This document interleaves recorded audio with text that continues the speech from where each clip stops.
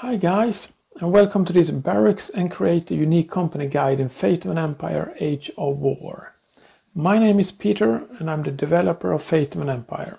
If you like this video don't forget to press the thumbs up and subscribe buttons.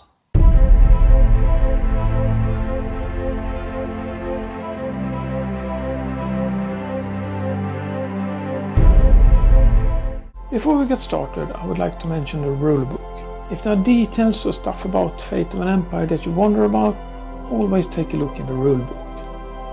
Whenever you see this icon, you can click on it to open the rulebook. In the rulebook you can find guides to help you get into the game as well as detailed information on much of the mechanics.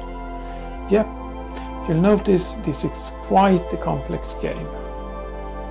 As soon as you have researched one or two weapon technologies, for example Weapons 1, it's worth to replace the obsolete militia with some real troops.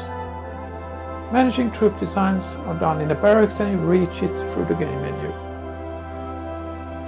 In the barracks you can see some statistics of all battles your empire has participated in as well as combat reports from the last term. It seems that we fought a losing battle against goats and nearly lost a scout. But you can also manage all your current company types. It shows what designs you have and how many of each type you have active in your army. Click on a design and you can see all its details. This is also where you retire old company types. Just click on the obsolete button and they'll disappear.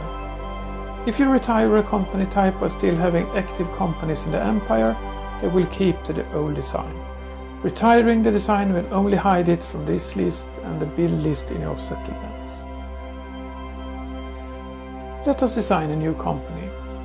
You need to give each company type a unique name.